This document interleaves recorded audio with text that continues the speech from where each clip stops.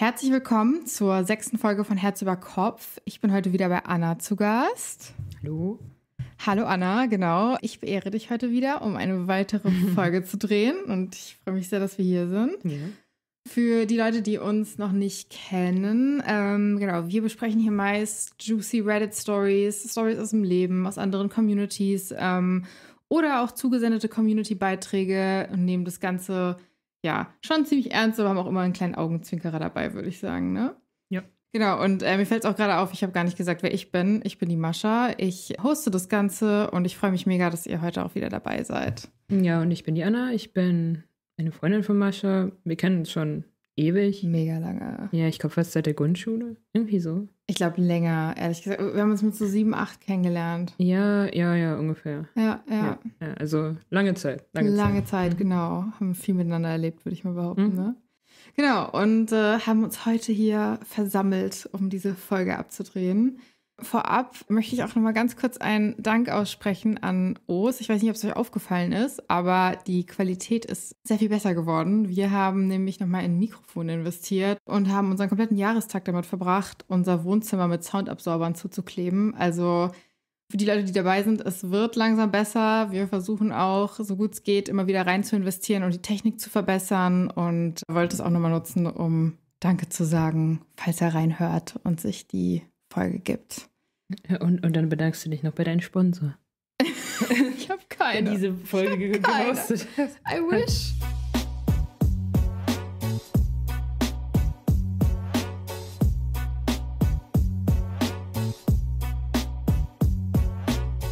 Wir haben heute ein sehr spannendes Thema. Um ehrlich zu sein, ist es das Thema, was ich letztes Mal schon mit dir machen wollte, als wir es nicht mehr geschafft haben. Okay. Und auf das ich sehr heiß war, es mit dir zu besprechen. Das Thema für heute ist Ex-Partner. Uh. Uh. Oh. okay. Da habe ich doch ein gutes Thema gewählt, oder? Oh ja. Das wird auf jeden Fall juicy, glaube ich, ne? So richtig juicy. Auf Mhm, jeden Fall. mhm. Wie, wie würdest du bisher so deine Erfahrungen mit Ex-Partnern beschreiben? Mm, ja, nicht so toll. Nicht so toll. Nicht bist so bist du toll. noch mit Ex-Partnern befreundet oder wie ist es so bei dir? Ähm, nee, Nee, gar okay. nicht. Okay, fair. Und bei dir? Ähm, ja, so semi. Ich glaube, ich habe versucht, Freundschaften aufrechtzuerhalten, aber die sind dann eben doch immer auseinandergegangen.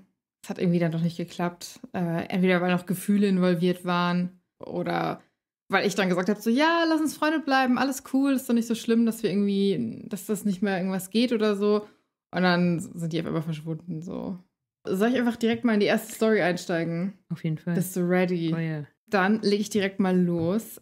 Emma the Asshole, weil ich mich weigerte, die Babyparty meiner Freundin zu verlassen. Also einer Freundin, nicht Ah, seiner. einer von. Okay, okay. Nur weil meine Ex nicht wollte, dass ihr Freund mich sieht. Sie ist genau genommen nicht mal meine Ex, da wir nie eine richtige Beziehung hatten. Ich war vor fast zwei Jahren für ein paar Monate bei meinen Eltern zu Hause. Wir hatten vier Monate was miteinander, bis ich für die Arbeit wieder zurückflog.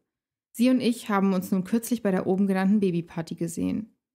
Ich glaube, sie haben sich durch diese Mama-Gruppe kennengelernt. In Klammern, meine Freundin hat noch ein weiteres Kind und sind gute Freunde geworden, weshalb sie auch eingeladen war. Ich wollte sie ganz normal begrüßen, als ich sie dort sah, aber sie hat mich ignoriert. Dann bemerkte ich, dass sie mit ihrem Freund und ihrem Baby dort war, also dachte ich, es sei besser, Abstand zu halten. Zehn Minuten später sprach sie mich dann aber tatsächlich im Badezimmer an.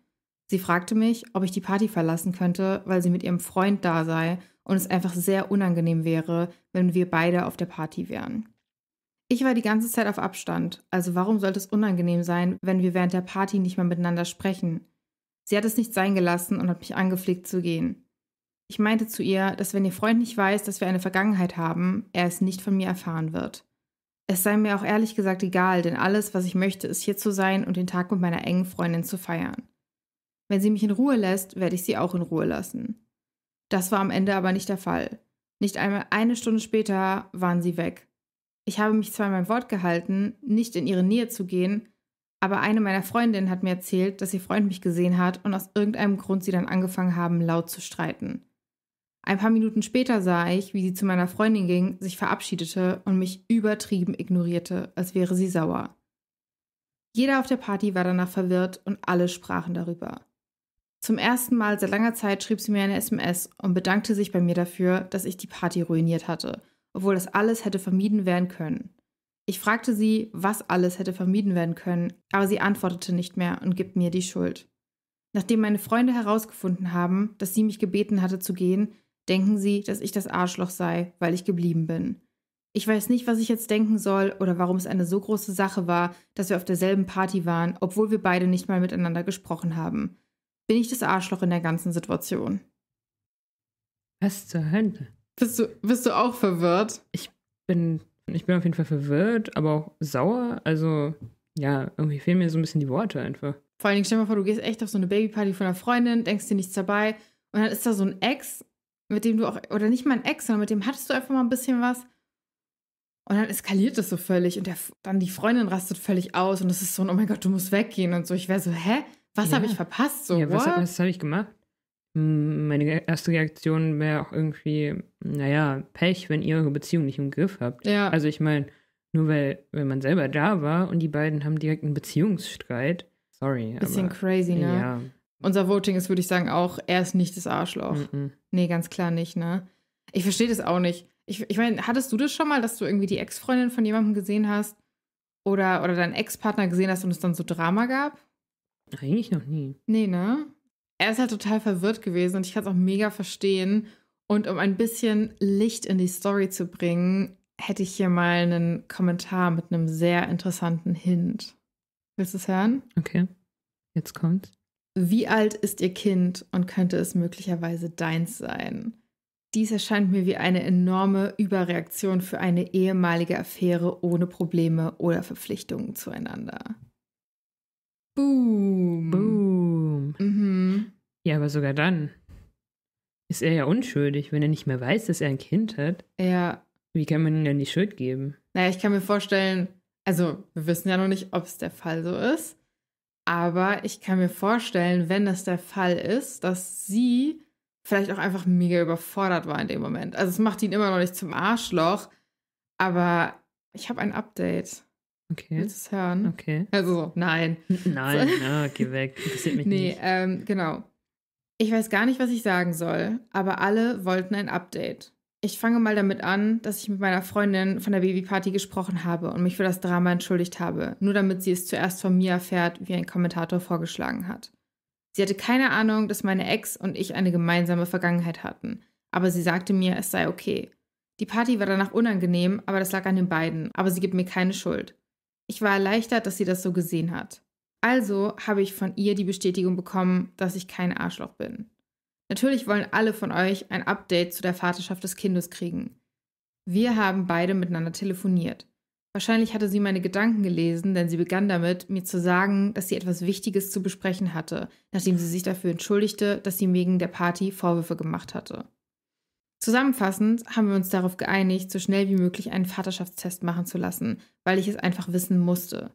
Und es ist definitiv mein Kind. Oh. Aha. Oh mein Gott.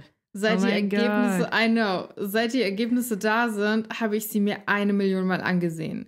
Aha. Mhm. Sie wusste bereits, dass ihr Sohn von mir ist. Sie fand nämlich kurz nachdem ich gegangen war heraus, dass sie schwanger war. Erst als ich wegen der Arbeit umgezogen war, erfuhr sie, dass ich nicht mehr da war. Da sie das Gefühl hatte, sie wäre mir egal, hatte sie Angst, dass ich nicht bereit sein würde, zurückzuziehen und sich um unser Kind zu kümmern. Das war schwer für mich zu hören. Ich habe geweint, als wir persönlich darüber sprachen. Ich stehe immer noch unter Schock, als ich all das erfuhr. Sie ließ mich gestern vorbeikommen, um ihn zu treffen, und es war super emotional. Ihn zu halten hat mich wirklich berührt. Er ist schon so verdammt groß. Den ganzen Tag habe ich mit meinem Sohn verbracht und wir haben bis spät in die Nacht darüber geredet, wie es jetzt weitergeht. Alles ist neu für mich, aber oh mein Gott, ich habe einen Sohn. Das ist doch verrückt, oder? Was ihren Freund angeht, so scheint sie ihn nicht betrogen zu haben. Zumindest von dem, was sie mir erzählt hat. Sie waren zu der Zeit nicht exklusiv und nachdem sie schwanger wurde, war er nur bereit, bei ihr zu bleiben, solange ich nicht im Bild sein würde. Mich zu sehen, machte ihn sauer, weil er dachte, ich sei weg vom Fenster. Sie sagte mir, ich solle mir keine Sorgen über ihre Beziehung machen, denn sie wolle nur sicherstellen, dass mein Sohn einen Vater in seinem Leben hat. Auch wenn ich keine Ahnung habe, was ich hier gerade mache, möchte ich für ihn ein Vater sein. Wir haben schon so viel Zeit verpasst. Ich bin aufgeregt, ihn morgen wiederzusehen. Ja, das ist das Update. Also ein bisschen krass, dass sie es ihm die ganze Zeit nicht gesagt hat. So, das war mein erster Gedanke, dass du es vorgelesen hast. Voll, ne? So, äh, wer ist hier das Arschloch? Ja, vor allen Dingen, also, vielleicht bin ich da jetzt ein bisschen unempathisch, aber ich denke mir so, wenn mir das jetzt passieren würde und ich hätte vor, das Kind zu behalten, dann würde ich auf jeden Fall versuchen, den Kontakt wiederherzustellen. Mhm. Also ich würde auf jeden Fall versuchen, selbst wenn er weg ist, ich würde die Eltern ansprechen, ich würde sagen, hey, ähm, ich bin irgendwie eine Freundin, ich habe die Nummer nicht mehr oder so. Ich würde irgendwie versuchen, in seinen Kontakt zu kommen, statt es dann so komplett mit mir alleine auszumachen. Also das finde ich schon krass und ich finde es so ein bisschen wieder dieses, ähm, da habe ich letztens drüber nachgedacht und dann meinte ich auch so zu Os, wo wir drüber geredet haben, so als Mann, du weißt nie, ob irgendwo Kinder von dir rumrennen. Theoretisch kann es ja immer passieren, Ja. wenn du Pech hast. Ja, und ich meine, dieses Mal ist es jetzt gut gelaufen, aber ich kann mir auch vorstellen, ich meine, stell dir das mal umgedreht vor. Du gehst einfach nur eine Freundin besuchen, du hast irgendwie deinen Job, den du magst, in einer Großstadt, du bist da happy, du hast da dein gesetteltes Leben. Auf einmal kommst du da so an und dann ist da einfach so ein Mini-You. Also, das kann gut laufen und man kann sich denken, oh mein Gott, und ich will Zeit mit diesem Kind verbringen und wow, oh mein Gott, I love it so. Aber man kann sich auch denken, oh mein Gott, ich will damit nichts zu tun haben. Warum hast du dieses Kind? Und oh mein Gott, und das ganz klar, also ablehnen. Das kann ja auch in beide Seiten gehen. Weißt du, wie ich das Mhm. meine? Wieso hast du es mir gesagt? So, jetzt Ja, machst du so. mein Leben kaputt oder sowas. Genau, also es kann Ja. halt sehr schnell nach hinten losgehen. Deswegen finde ich die ganze Situation einfach ultra krass. Und ich meine, ich freue mich für ihn, ich freue mich für die Mutter und vor allen Dingen für das Kind, dass es jetzt so gut gelaufen ist, was, Mhm. was diese ganze Konstellation angeht. Aber ich finde es schon sehr wild, ehrlich gesagt. Es ist auf jeden Fall viel, ja. Und ich habe auch ein Problem mit dem Freund, der sagt, ja, ich bleib bei dir und ich helfe dir mit dem Kind, aber nur, wenn der Vater aus dem Bild ist. Das heißt ja eigentlich, die beiden würden jetzt Schluss machen, oder? Ja, Das wäre so die Implikation für mich, weil jetzt ist der Vater ja im Bilde ja, und sieht seinen Sohn ja regelmäßig. ja.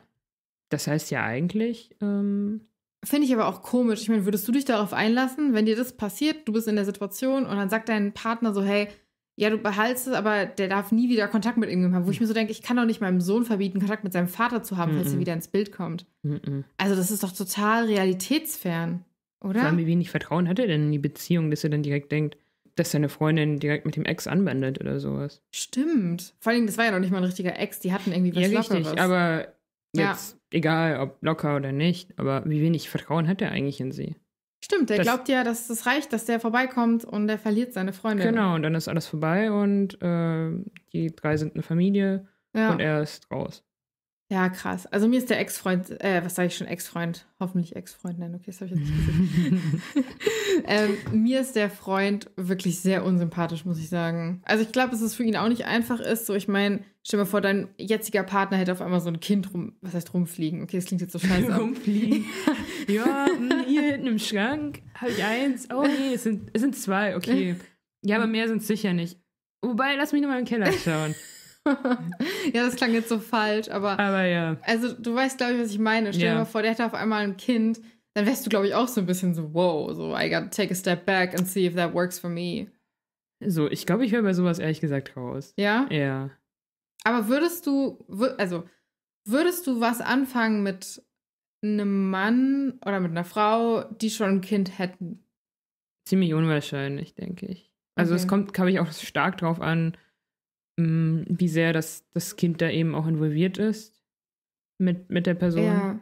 und wie sehr man sich drum kümmern muss. Aber grundsätzlich glaube ich nicht, dass ich das wollen würde. Das ist jetzt natürlich nur meine Meinung, andere würden das anders Ja. sehen, aber ich glaube, für mich wäre das nicht. Ich glaube, man muss auch selbst evaluieren, ob man überhaupt selbst Kinder will. Weil wenn du eh keine willst, dann passt es auch irgendwie nicht, wenn dann dein Partner noch ältere Kinder von vorherigen Partnerschaften hat, glaube ich. Oder auch kleine Kinder, ist ja egal. Ich glaube, mit einem älteren Kind wäre es sogar einfacher. Ja, du meinst, weil da auch weniger erziehungstechnisch gemacht werden muss oder weil die nicht so abhängig sind von. Ja, genau, weil die den vielleicht Eltern. auch schon bald volljährig sind oder so. Okay, klar, einen Teenager zu hindern ist, glaube ich, auch nicht so toll. Ja. Aber ich glaube, das ist teilweise einfacher einfach. Ich glaube, du musst dich nicht so, so stark investieren oder einbringen, wie, wie jetzt bei einem Baby oder Kleinkind oder sowas. Was ja Na, wirklich dauernd Aufmerksamkeit braucht. Ich glaube, das ist auch einfach ein krasses Commitment, weil wenn du in dieses, in dieses Szenario reingehst, dann wirst du ja auch eine Bezugsperson für das Kind im Idealfall. Das heißt, wenn dann die Beziehung nicht klappt, dann weißt du, dass du irgendwo auch die Verantwortung mit hast, dass dieses Kind dann schon wieder einen, einen jemanden verliert. Weißt du, wie ich das meine? Ja, richtig. Also das Kind könnte auch eine Bindung zu dir aufbauen. Wir wissen ja nicht, wie der andere Elternteil ist. Mhm. Und vielleicht bist du dann sowas wie die Ersatzmutter oder der Ersatzvater. Und dann, Ja, verschwindest aber aus seinem Leben, weil ähm, du kannst dem Kind ja nicht vorschreiben, wen es am Ende zu lieben hat. Ja. Ja, und dann musst du dich trennen, weil die Beziehung nicht funktioniert, weil du willst die Beziehung ja auch nicht weiterführen, nur wegen dem Kind. Ja. Und dann ist es echt hart fürs Kind, glaube ich. Ja, ich habe auch mal so eine Reddit-Story gelesen, die ist jetzt hier nicht mit dabei, aber da musste ich gerade voll dran denken, wo ein Mann geschrieben hat, dass er krass gebondet hat mit seiner Stieftochter und dass er sich eigentlich trennen will, aber dass er seine Stieftochter nicht verlieren will. Und dass er nicht weiß, was er machen soll, weil er halt weiß, dass er das, also dass er sie nicht mehr sehen wird, wenn die sich trennen, weil es halt nicht sein leibliches Kind ist und die halt auch nicht irgendwie verheiratet sind und er es adoptiert hat. Und er voll so ist, so, hey, ich liebe die Frau überhaupt nicht mehr, ich komme gar nicht mehr klar, aber ich liebe diese Stieftochter wie mein eigenes Fleisch und Blut und ich weiß nicht, was ich tun soll. Und da muss man sich, glaube ich, auch fragen, ist man potenziell bereit dafür, in so ein Commitment reinzusteigen? Ja, mir wäre das auch nur noch mal zu krass für alle, die das machen und die sich auf sowas einlassen. Echt Hut ab, das ist echt ja, wie gesagt, eine krasse Verantwortung, die man da trägt. Und ähm, ich, ich ziehe echt meinen Hut vor allen, mhm. die, die sagen, hey, wir machen das und äh, wir gehen den Weg zusammen. Und auch wenn da irgendwie ein Kind auftaucht oder schon davor da ist, so, also wirklich. Chapeau. Auf jeden Fall. Ja. ja, auf jeden Fall. Kurze Anmerkung, wenn euch der Podcast gefällt und ihr mehr davon hören wollt, dann Abonniert uns auf jeden Fall und lasst uns vielleicht auch eine Bewertung da. Das würde uns sehr helfen. Vielen Dank. Wollen wir weiter zur nächsten Story? Mhm. Okay. Bist du ready? Mhm. Titel: Muss ich mir Sorgen machen, weil meine Freundin ihren Ex entblockt hat?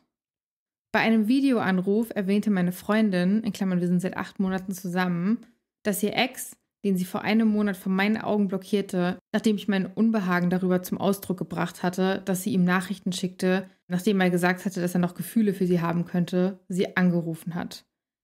Er rief sie kürzlich an und bat sie um Rat wegen eines Freundes, der mit Depressionen zu kämpfen hatte. Sie sagte, ich solle wissen, dass sie dieses Gespräch geführt hätten. Was mich beunruhigte war, dass es zu diesem Gespräch überhaupt kam.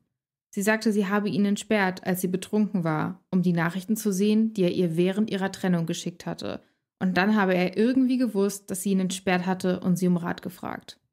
Ich weiß nicht, ob ich sie des Betruges beschuldigen soll, aber ich habe ihr gesagt, dass erstens es mich stört, dass sie ihn entsperrt hat, um Nachrichten zu sehen, obwohl sie ihn vorher von meinen Augen blockiert hat.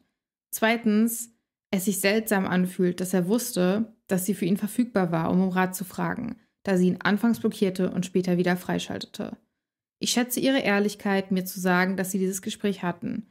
Und ich habe ihr meine Meinung zum Thema Fremdgehen erklärt, welches ich in der Beziehung absolut verabscheue.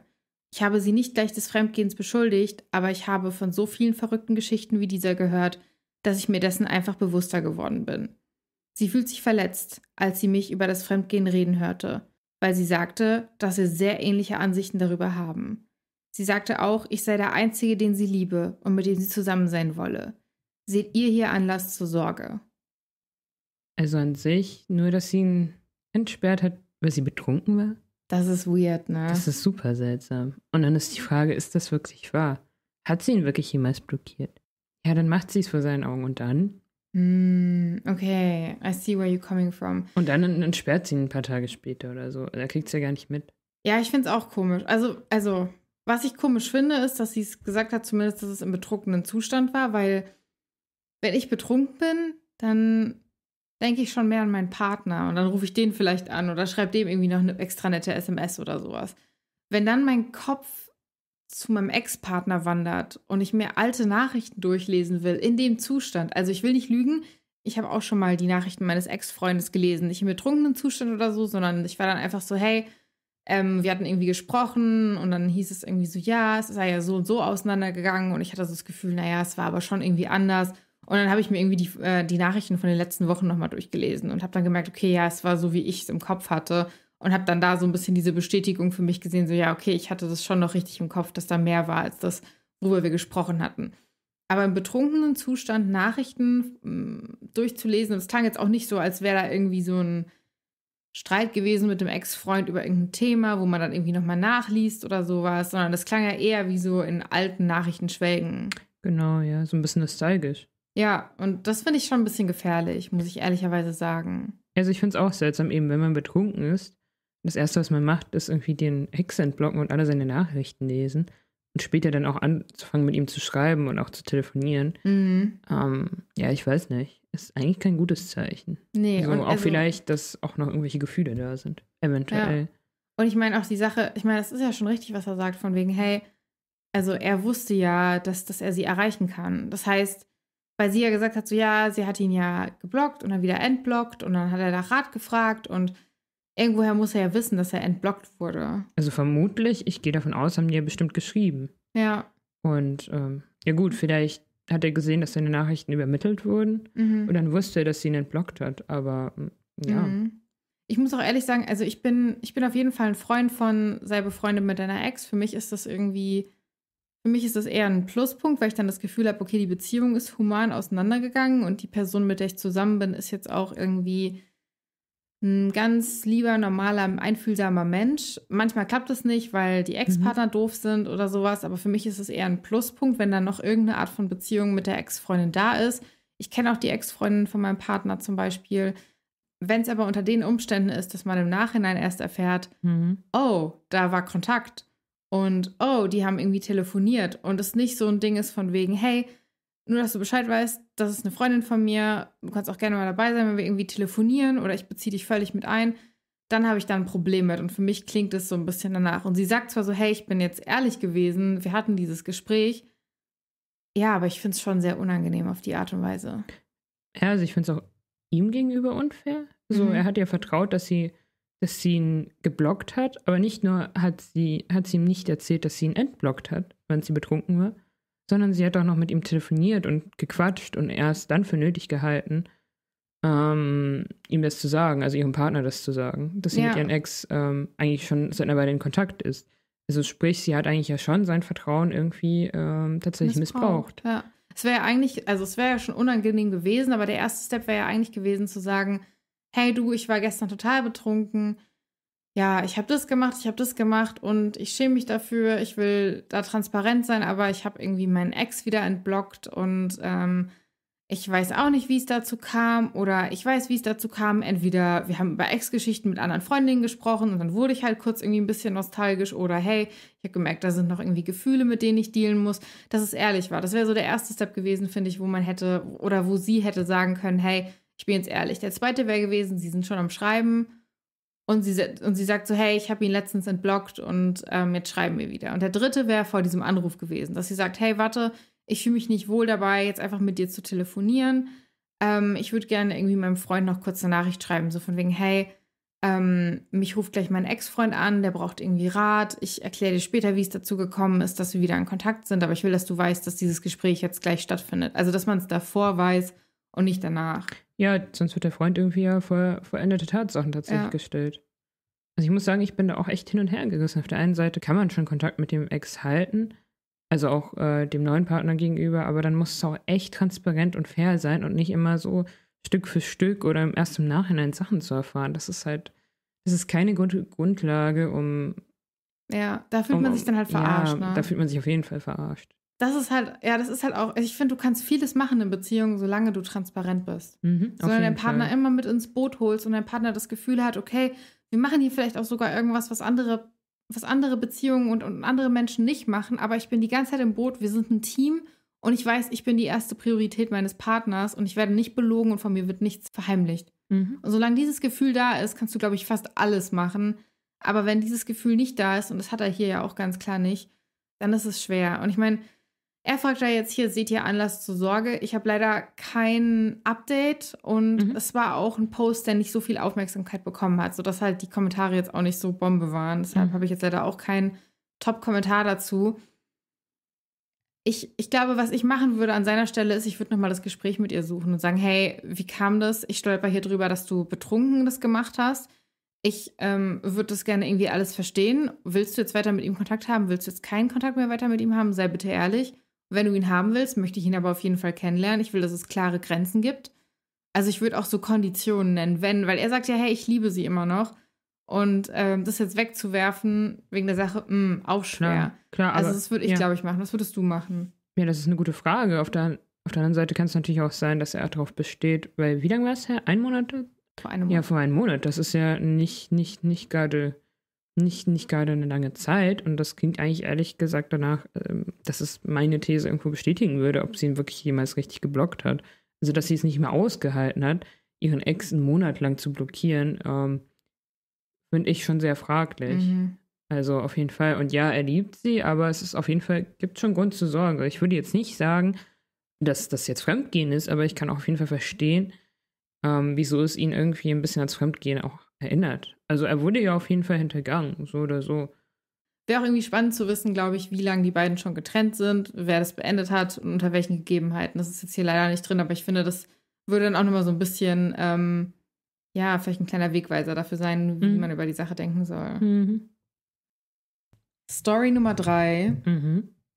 Und die ist, Ist das jetzt die juicy Story von allen? Oder? die ist schon, die ist juicy, aber die ist vor allen Dingen krass, finde ich. Okay. Bist du bereit? Mhm. Bin ich das Arschloch, weil ich die Kfz-Versicherung meines Ex-Mannes mit einer Frist von einer Woche gekündigt habe? Es geht hier so ein bisschen Richtung Rosenkrieg, würde ich mal Ah, behaupten. okay, okay, okay, ja, ja, ja. Okay, ich lese mal vor, ja? Mhm. Mein Ex-Mann und ich sind seit 2018 getrennt. Er zog im März 2020 in ein anderes Bundesland, um einen neuen Job zu beginnen und mit seiner neuen Freundin zusammen zu sein. Kurz nach seinem Umzug ging Corona los und er verlor seinen Job. Also fing ich an, seine Autoversicherung zu bezahlen, um ihm zu helfen. Seitdem hat er zahlreiche Jobs und Wohnsituationen durchlaufen und es wurde sogar so schlimm, dass er wieder für sechs Monate mietfrei bei mir wohnte, um wieder auf die Beine zu kommen. Vor kurzem ist er wieder weggezogen, um einen neuen Job anzufangen. Es geht ihm finanziell viel besser, er hat sogar über 5000 Euro von seiner Steuererklärung zurückbekommen. Ich erwähne das, um darauf hinzuweisen, dass er nicht zum Unterhalt unserer beiden Kinder im Teenageralter beiträgt, da das Gericht nie Unterhalt für die Kinder angeordnet hat, weil unsere Töchter bei ihm lebten, als die Sorgerechtsvereinbarung geschlossen wurde. Seitdem sind sie zu mir gezogen und leben nun seit fast zwei Jahren bei mir. Ich bin in der Lage, meine Rechnungen zu bezahlen und meine Kinder mit meinem Einkommen zu ernähren, aber das Geld ist knapp, also habe ich ihn gebeten, mir zu helfen. Er sagt, da die Kinder bei mir leben, sollte er mir nicht helfen müssen. Also beschloss ich, seine Autoversicherung nicht mehr zu bezahlen. Vor einer Woche habe ich ihm gesagt, dass seine Autoversicherung am 29. abläuft und er sich um was anderes kümmern muss. Er ist jetzt sehr wütend auf mich, weil ich ihm in Anführungsstrichen Probleme bereitet habe und er nun die Kosten selbst tragen muss. Ich habe ein schlechtes Gewissen, weil wir so lange zusammen waren und ich immer noch das Gefühl habe, dass ich ihm etwas schulde. In Klammern, ich bin in Therapie, um daran zu arbeiten. Ist es falsch, ihm den Geldhahn zuzudrehen und ihm nur eine Woche Zeit zu geben, sich darum zu kümmern? Hm, nein. The Also- Entitlement. I'm sorry, ich konnte es kaum in mir halten, als ich es vorgelesen habe. Der trennt sich, zieht in ein anderes Bundesland mit seiner neuen Ische, hat da, okay, vielleicht ist es nicht so gelaufen, wie er sich vorgestellt hat. Er zieht dahin zurück, lebt dann mietfrei bei seiner Ex-Frau, die covert alle Kosten. Und dann ist sie irgendwann so, hey, guck mal, du verdienst jetzt echt gut, du kriegst jetzt, du hast jetzt mega viel Geld zurückbekommen vom Finanzamt. Kannst du nicht ein bisschen was dazugeben? Ich muss mich um alles alleine kümmern. Und er ist voll so, hey, die leben doch bei dir, nicht mein Problem. Und dann ist sie so, gut, okay, weißt du was? Dann habe ich auch kein Geld mehr für deine Autoversicherung. Und er ist so, oh mein Gott, wie kannst du nur? Du bist so eine schlimme Person. So, hallo? Wie verdreht ist das denn bitte?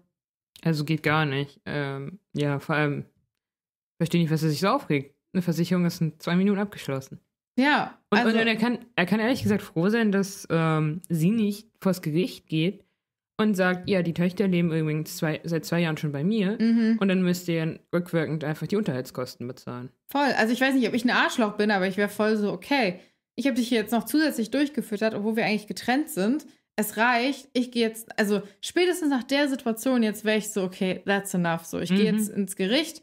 Ich kümmere mich darum, dass ich von dir Unterhalt bekomme für die Kinder, weil es nicht sein kann, dass ich die Kosten komplett alleine trage. Du kannst bleiben, wo der Pfeffer wächst. So. Richtig, richtig. Also- Also, da kann, wie gesagt, er kann sich echt freuen, dass es nur bei der Versicherung aktuell bleibt. Ja. Er sollte lieber ganz ruhig sein, ganz kleinlaut. Weil ich an ihrer Stelle würde auf jeden Fall dann ähm, mir den Unterhalt für die Kinder einklagen. Und Yes. Dann hat er nämlich gar nichts mehr am Ende. Ja, das ist echt krass so. Ey, und ich habe auch einen Kommentar dazu, das passt auch so ein bisschen zu dem, was wir Mhm. sagen. Willst du mich auf den Arm nehmen? Dieser Schnorrer, dem du wiederholt geholfen hast, weigert sich, Unterhalt für seine Kinder zu zahlen und du zahlst immer noch seine Autoversicherung. Nicht das Arschloch. Überhaupt nicht. Du warst so großzügig, ihm eine Woche vorher Bescheid zu geben. Hör auf, die Autoversicherung zu zahlen und ziehe ihn wegen des Unterhalts für die Kinder vor Gericht. Ja, ja. stabil. Genauso. Das ist echt so ein Ding. Vor allen Dingen, ich finde, also Props an alle alleinerziehenden Väter da draußen, genauso wie an alle alleinerziehenden Mütter. Ich finde aber, es ist immer noch sehr oft der Fall, dass die Frauen mit den Kindern am Ende in Anführungsstrichen also Vermutlich, ja. enden, will ich jetzt mhm. nicht sagen, aber dass sie sie halt behalten. Und ich kenne so viele Situationen aus meinem Freundeskreis oder Bekanntenkreis, wo die gesagt haben, hey, als ich klein war, wir hatten nicht viel, weil Papa hat sich dann irgendwann getrennt oder Mama und Papa haben sich getrennt und Papa ist dann einfach von der Bildfläche verschwunden und Mama musste alles für uns machen und irgendwie alleine alles bezahlen, alles stemmen und und und und das finde ich halt auch so krass irgendwie, mhm. auch für die Kinder, glaube ich. Das, also da werde ich echt wütend. Also ich meine, die sind ja auch von sich aus äh, zur Mutter gezogen, obwohl sie vorher ja beim Vater ja. waren. Also ich glaube, für die war es auch nicht so toll mit so einem nee. Vater. Nee. Also ich glaube, das sagt einiges drüber aus. Boah, ey, das, das, klingt echt nicht gut. Und ich finde, das klingt auch, also ich will jetzt hier nicht, also ich glaube, wir können jetzt hier nur mutmaßen, aber mhm. ich finde, das klingt dann auch so ein bisschen so, ich, ich weiß nicht, wie die Ehe von denen war. Also weil sie selbst ja auch sagt so, hey, sie ist gerade in Therapie, um das zu verarbeiten und so. Wenn die Ehe auch so war, dass das alles so auf sie geschiftet wurde, dass sie den Großteil von allem stemmen musste und er sich halt so ein leichtes Leben geschoben hat, wie gesagt, das können wir nicht wissen, aber es klingt ja so ein bisschen mhm. so, dann tut mir die Frau auch einfach nur leid. Ja, auf jeden Fall. Ich kann mir auch vorstellen, dass er vielleicht dann gesagt hat, dass ähm, ja in, in der Ehe, dass, dass es vielleicht ihre Schuld ist, dass sie jetzt kein Geld haben und mhm. sie soll sich gefälligst jetzt darum kümmern. So vielleicht sowas wie, ah, du bist ja mit den Kindern zu Hause geblieben. Äh, wegen die haben jetzt nicht genug Geld oder sowas. Ja, jetzt musst du das kompensieren. So, jetzt stecken wir in finanziellen Schwierigkeiten. Also, was kann ich mir durchaus so. vorstellen, von der Antwort her. Und dass alles an ihr hängen geblieben genau, ist. Genau, dass sie Ehe, jetzt ne? deswegen immer noch äh, Probleme deswegen hat und ein schlechtes Gewissen. Ja, total. Also, ich glaube, sie hat sich da wirklich einen Gefallen getan, sich von diesen Menschen zu trennen. Auf jeden Fall. Und ähm, ich meine, sie sind jetzt auf dem Papier getrennt. Sie hat sich, glaube ich, noch nicht so ganz geschafft, von ihm im Leben zu trennen, wie man jetzt ja auch hier hört, im Sinne von, dass sie Sachen für ihn übernimmt und so weiter und so fort. Ich glaube, es spricht nichts dagegen, wenn du dich gesund getrennt hast und mhm. beide Teile, also beide Elternteile an einem Strang ziehen und dann sagt die eine Person so, hey, mir geht's gar nicht gut, Corona mhm. hat irgendwie, du bist selbstständig, Corona hat irgendwie dein Business komplett kaputt gemacht oder du hast deinen Job verloren und du dann zu deinem Ex-Partner gehst und sagst, hey, ich will für die Kids da sein, ich will das alles hinkriegen, kannst du mir aber ein bisschen Unterstützung geben? Also weißt du, wie ich das meine? Mhm. So, dagegen spricht nichts, aber das klingt ja sehr danach so, hey, der hat sich nach der Trennung, ist ja direkt in ein anderes Bundesland mit seiner neuen Ische so oder hat sich irgendwie einen entspannten gemacht. Und also, ja, also klingt, klingt für mich echt sehr wie, verantwortungsvoll. Ja, klingt, klingt für mich echt wie so ein Schnogger. Ja. Und wahrscheinlich wollten die Töchter das auch nicht mitmachen und sind deswegen dann auch zur Mutter. Ja, kann ich mir auch vorstellen. Also wahrscheinlich sehr instabil alles. Ja, ich finde aber auch, wenn du Kinder hast, dann wirst du so Ex-Partner nie so ganz los. Also klar, ja. Wenn du, wenn du wirklich so einen Ex-Partner hast, der echt toxisch ist oder wirklich echt Probleme hat, wo du dir so denkst, so, oh mein Gott, so, ich kann mit der Person nicht zusammen sein. Kinder verbinden halt bis zum Lebensende. Mhm. Und das ist halt echt krass so. Also ich kann mir auch vorstellen, dass viele Leute ja Kontakt mit ihren Ex-Partnern haben und sich so denken jedes Mal so, oh mein Gott, so ich, ich kann das nicht mehr und es einfach nur durchziehen wegen der Kinder, aber eigentlich normalerweise nie mehr Kontakt mit diesen Menschen hätten, weil die einfach so, ja, weil die einfach so viel Energie ziehen auch. Ja, auf jeden Fall. Muss schon sehr belastend sein. Ja. Aber es vielleicht auch, ja, eine gute Art, das zu lernen, wie man eigentlich mit seinem Ex-Partner auch umgeht. Ja, auch eine gute Art, Grenzen zu lernen. Ja, auf ich, jeden ne? Fall. Grenzen also setzen. ich glaube, man kann da relativ gut Grenzen setzen. So bis hierhin nicht weiter. So mit den Kindern kannst du, aber ja. bleib, mir, bleib mir vom Hals oder so. Echt so, ne? Ja. Oh Mann, ey. Okay, bist du ready für Story Nummer 4? Mhm. Okay, die Story fand ich mega komisch. Ich habe sie einfach mal mit reingenommen mhm. und ich bin mhm. mega gespannt, was du dazu zu sagen hast, okay? Okay. Meine Frau hat etwas Seltsames über ihren Ex gesagt und es macht mir wirklich zu schaffen. Meine Frau und ich sind seit vier Jahren verheiratet. Ich werde sie Anja nennen. Wir lieben uns, führen eine tolle Ehe und sprechen darüber, bald Kinder zu haben. Ich kann mich wirklich nicht beschweren. Aber bevor Anja mich kennenlernte, war sie zwei Jahre lang mit Bo zusammen. Sie sagte, sie sei unsterblich in ihn verliebt gewesen, habe ihn aber verlassen müssen, weil er sie verbal misshandelt habe. Kurz nachdem sie Bo verlassen hatte, lernte sie mich kennen und der Rest ist Geschichte.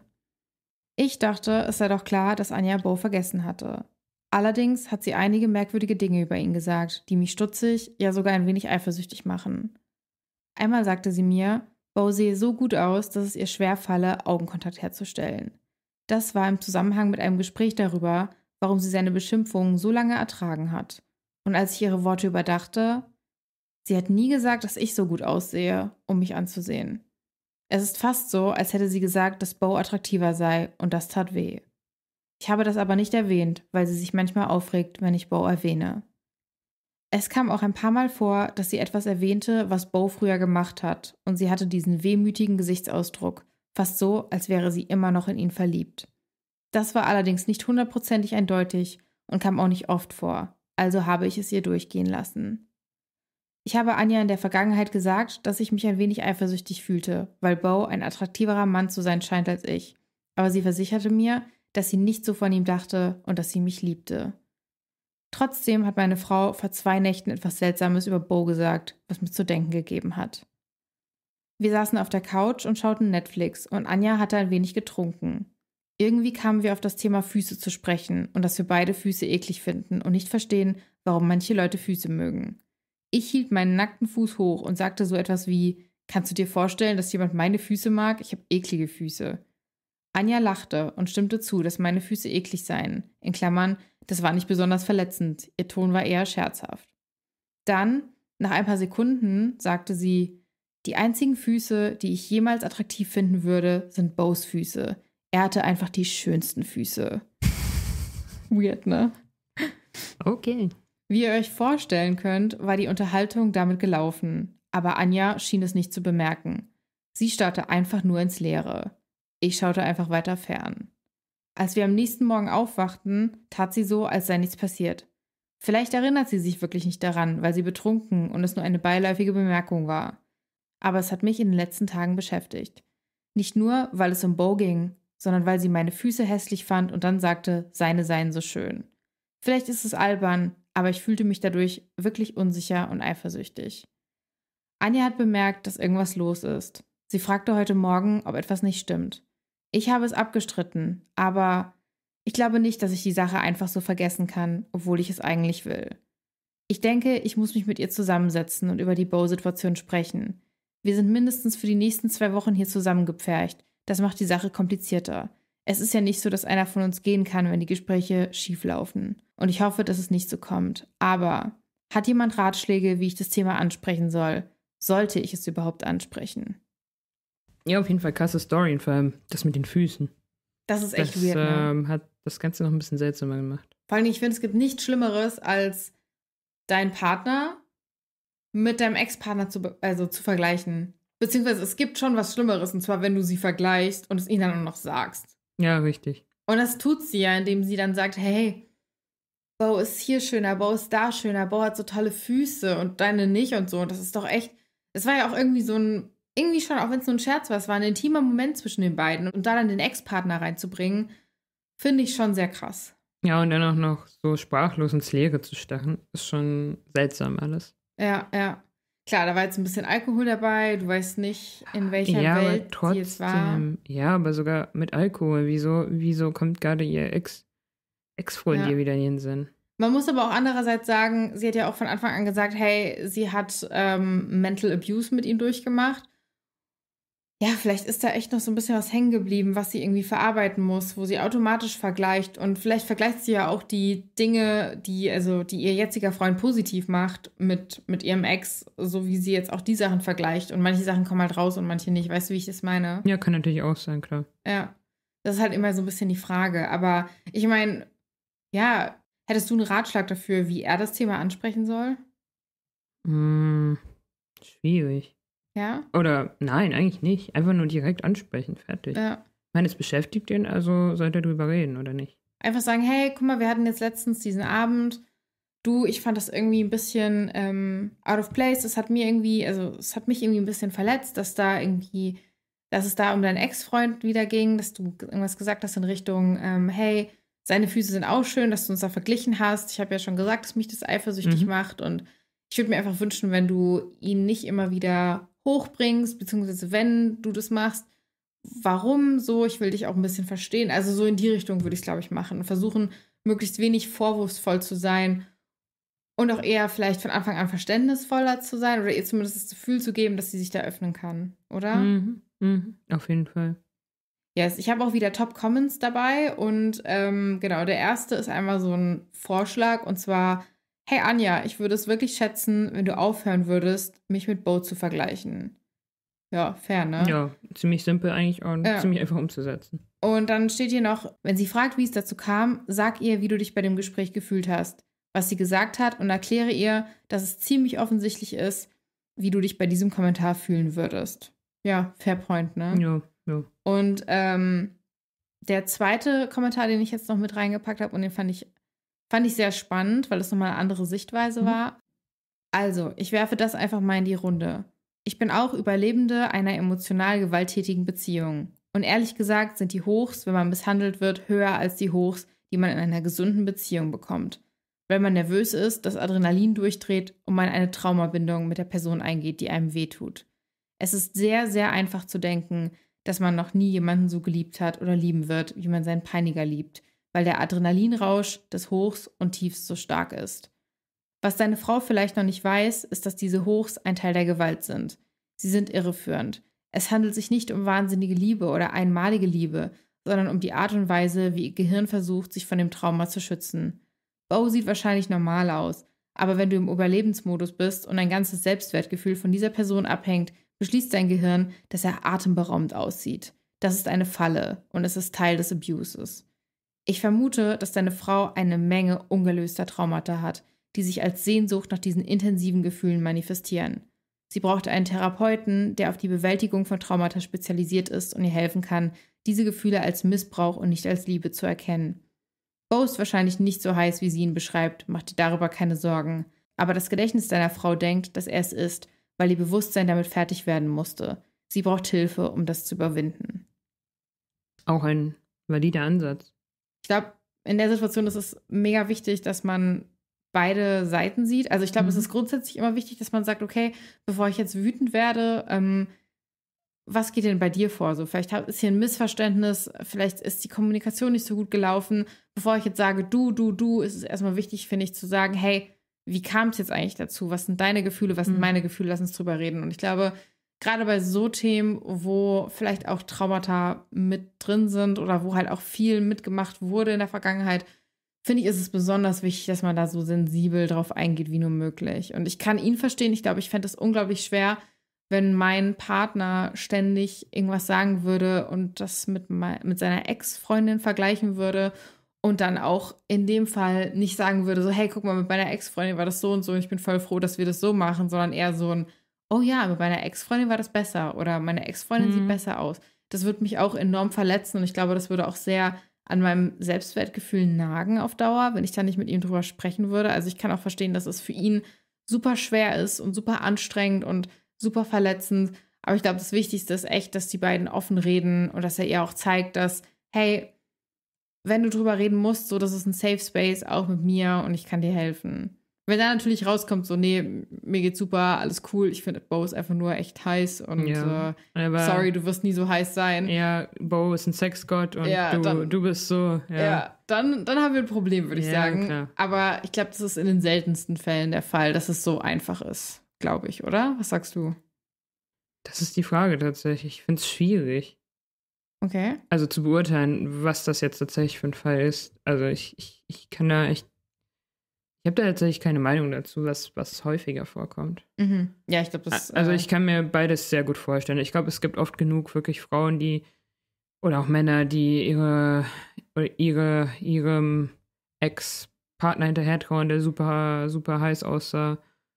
Aber vielleicht gibt es auch Fälle oder es gibt auch genug Fälle, wo, wo man vom Ex-Partner dann misshandelt wurde. Also ähm, Ja. ich denke, es ist wirklich beides möglich. Ja, also ich habe jetzt auch keine Datenlage, die irgendwie. Nein, nein, nein, nein, belegt, aber ich ne? meine nur, ich, ich halt, ich finde, es hält sich eigentlich beides die Waage. Ich finde beides eigentlich Ja. tatsächlich gleich wahrscheinlich. Ich glaube, es ist halt einfach nur wichtig, dass man nicht pauschalisiert. Ich finde es auch immer ganz gefährlich, wenn, wenn so Coaches sagen, wenn deine Frau das macht oder wenn dein Mann das macht, dann bedeutet es das und das und du musst das und das tun, damit es so und so ist. Und ich denke mir immer so, hä?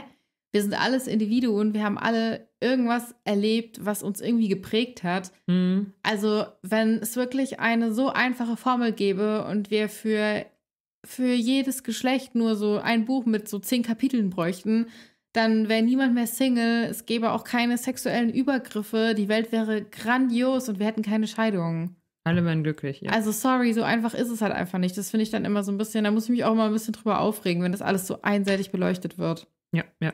Also, Also- ja, ich glaube, das ist tatsächlich wichtig hier zu beachten, Ja, dass einfach beides der Fall sein beides sein kann, ne? Ich habe ein Update. kann. Mhm. Jetzt kommt. Und ähm, es war ein extrem langes Update und dann noch eine Oh. Million Kommentare. Und ich war so, ich kann das unmöglich alles hier vorlesen, weil dann schläfst du ein und schlafen alle Zuhörer ein. Also habe ich das jetzt einfach mal kurz zusammengefasst, weil auch irgendwie nicht so viel gesagt wurde, aber in ganz viel Text. Ähm, Vermutlich sehr emotional. ja, sehr, also Mhm. Genau, die haben geredet und ähm, sie hat auch gesagt, hey, sie merkt jetzt, wo sie drüber reden, sie reflektiert und es ist wirklich Traumabonding und sie hat überhaupt nicht gemerkt, dass sie diese Dinge gesagt hat. Sie war total schockiert, es war sehr emotional, es wurde viel geweint, die haben sich im Arm gehalten und es war so, oh mein Gott, ja, wie geht's jetzt weiter? Hatten ein langes Gespräch und haben sich jetzt auch entschieden, dass sie jetzt therapeutische Hilfe in Anspruch nehmen wird um das Trauma zu verarbeiten und dass er auch an ihrer Seite sein wird und das mit ihr Hand in Hand diesen Weg gehen wird, um ihr dort zu helfen.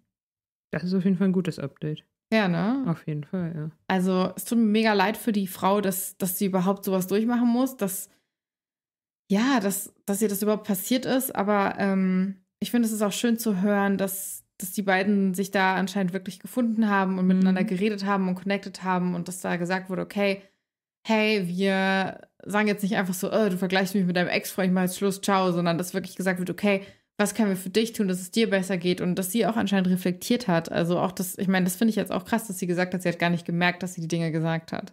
Das ja, ist anscheinend ja, so sehr. In ihrem Unterbewusstsein also drin ist. Und ich finde, was dann auch irgendwie wichtig ist, ist, wenn es sowas ist, dann kann ich mir auch vorstellen, dass es lange dauert, bis es rausgeht. Weil das ist ja nichts, was sie anscheinend aktiv macht. Sie setzt sich jetzt nicht hin und sagt, okay, es ist jetzt 23 Uhr und das macht jetzt mein Partner und ich hau jetzt irgendwas mit meinem Ex-Partner raus, sondern es passiert einfach. Und ich glaube, bis sowas, bis sowas im Kopf gelöst wird, das ist ein langer, steiniger Weg. Und ich hoffe einfach, dass die beiden das zusammen schaffen. Ja, das kam ja auch erst nach vielen Jahren Ehe hoch. Also es Ja. kam ja nicht erst direkt am Anfang hoch, sondern irgendwie ja so wirklich erst im vierten Ehejahr oder so. Genau, ja, ich glaube fünf Jahre, nee, vier Jahre sind die verheiratet, genau. Also er meinte ja, zwischendurch waren immer mal so Kleinigkeiten und jetzt war aber mal so ein, so eine Situation, wo er gesagt hat, so, okay, Jetzt kam es richtig hoch. bis hierhin und nicht weiter, so, das ist mir jetzt echt langsam ein bisschen too much. Mhm. Ja, ich glaube, wenn du, also wenn du sowas halt nicht verarbeitest und das so krass verdrängst, dann hol dich das immer ein. Solche Sachen holen einen immer ein. Sei es irgendwie Beziehungsdramas, sei es jetzt irgendwie der Tod in der Familie, sei es jetzt irgendwelche anderen Geschichten. So, wenn du es von dir wegdrückst, irgendwann wird ein Moment kommen, wo du nicht die Kraft hast, das weiter von dir wegzudrücken. Und dann wird es irgendwie einen Crack Mhm. geben in, in deiner mentalen, ja, in deiner mentalen Schutzmauer. Und dann würde ich das, glaube ich, voll überfluten. Das ist zumindest so, was ich kennengelernt habe, was ich durchgemacht habe, von mir selbst, von Freunden, Familie, so was ich da irgendwie immer observed habe. Und ähm, ja, vielleicht war das bei ihr auch der Knackpunkt. Ich meine, die haben jetzt auch über Kinder geredet, vielleicht intensivieren sich da auch die Gespräche und dann ist es ja auch irgendwie so ein Pressure, so, okay, es geht jetzt los mit Kinderkriegen, so finanzielles, will man irgendwie vielleicht eine Immobilie holen oder wenn auch nicht, so wie geht's weiter? Man hat die Verantwortung Mhm. für, für, für andere Lebewesen und das ist sehr viel Druck und vielleicht ist das auch einfach der Moment gewesen, wo, ohne dass sie es merkt, da bei ihr auch so ein kleiner Damm gebrochen ist. Klar, ja. So langsam wird es richtig ernst und dann kamen eben Dinge hoch. Und es ist vielleicht auch ganz gut so, bevor die Kinder eben da sind. Auf jeden Fall. Das wäre, glaube ich, nochmal problematischer. Yes, genau. Das war jetzt irgendwie die vierte Story. Wir sind schon durch. Ähm, ich glaube, wir sind auch im wahrsten Sinne des Wortes ein bisschen durch. Oh ja. Oh ja, wir sitzen warm. auch bei, ich glaube, 30 Grad waren es heute in der Dachgeschosswohnung und sind auch beide ziemlich am Schwitzen. Ja, Anna Yeah. pustet sich gerade selbst ins Yeah. Gesicht. Ähm, wir sind jetzt hier am Ende der Folge angelangt. Ich glaube, es waren echt ein paar spannende Stories, auch ein paar Mhm. verrückte Stories, wo man sich im ersten Moment so Ja. dachte, so, yo, okay, was, was geht hier ab so?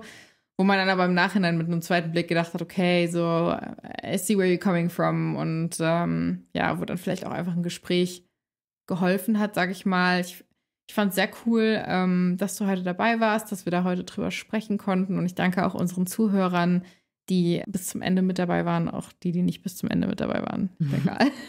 ja, ich denke auch. Es hat mir sehr viel Spaß gemacht. Yes. Und, und hoffentlich ähm, bis zum nächsten Mal. Dann. Genau, bis zum nächsten Mal. Wir sehen uns bald wieder. Und ähm, genau, wir hören uns. Macht's gut. Ciao, ciao.